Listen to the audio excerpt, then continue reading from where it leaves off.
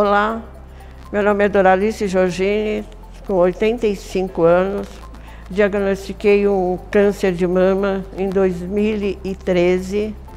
Fiz todos o procedimento, todos os exames. Foi, a doutora Tânia, é que é a minha médica. O doutor Nelson mandou fazer todos os exames. Em 2014 eu fui operada. Graças a Deus estou bem. Quando fiz o tratamento com a doutora Tânia, doutor Nelson, não precisei fazer quimioterapia, só radioterapia.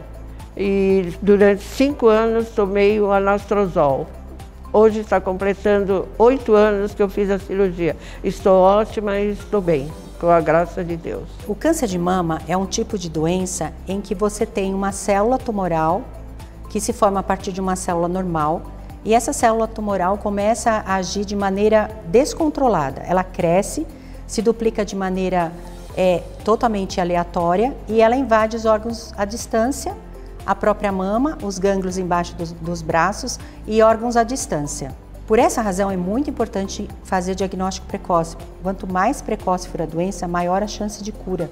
Quando a doença está localizada, as chances de cura são de quase 100%. Quando a doença se encontra apenas na região das axilas, você ainda tem uma chance de cura muito próximo dos 80%. Faça o autoexame das mamas e procure seu médico. É muito importante você conhecer o seu corpo. Vamos fazer o diagnóstico precoce dessa doença.